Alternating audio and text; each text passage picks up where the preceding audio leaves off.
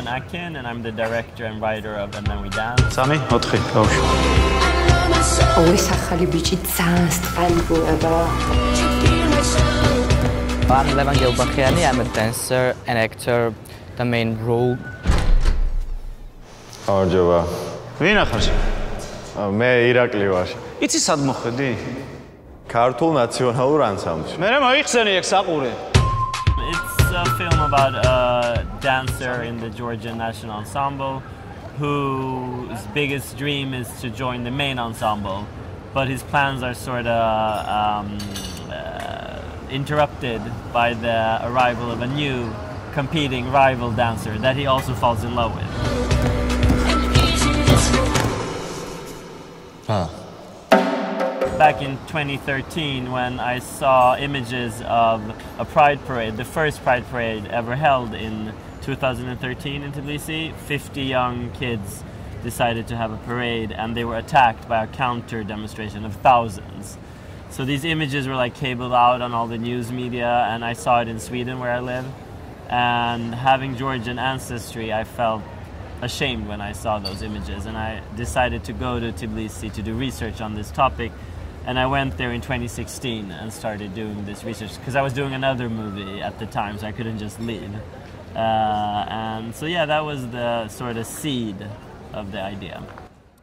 The first time when I read the script, it was like, okay, it will gonna be huge in Georgia because of the society and because of the topic. And I was a little bit afraid of that. But then when we start filming and when I saw some like clips, I was more like chilly because okay, so it will gonna gonna be uh, really really good. So yeah.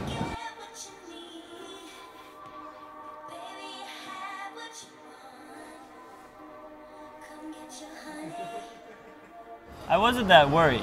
I was, you know, I was more angry at the situation. So I felt much more, you know, like empowered doing it. And I feel like the whole film team sort of, we, we were like a group of fighters uh, taking the streets of Tbilisi doing this film because we, you know, didn't, it was very, shot in a very sort of guerrilla neo-realist fashion.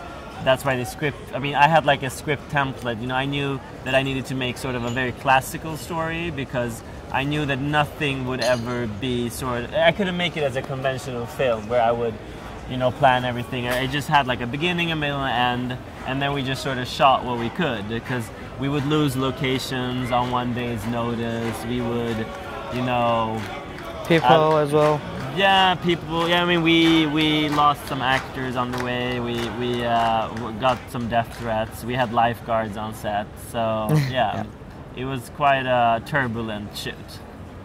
So Georgia is statistically one of the most homophobic countries in the world, but it is changing, and there it's a very divided country. So I also want to add, it's important to add that we got also so much support Yeah. from so many people, also people in governmental positions that you know were angered over their colleagues not supporting us and things like that. And also, you know, Georgia is one of the most progressive countries in the Caucasus region, uh, and there are laws in place that are really good, nice laws.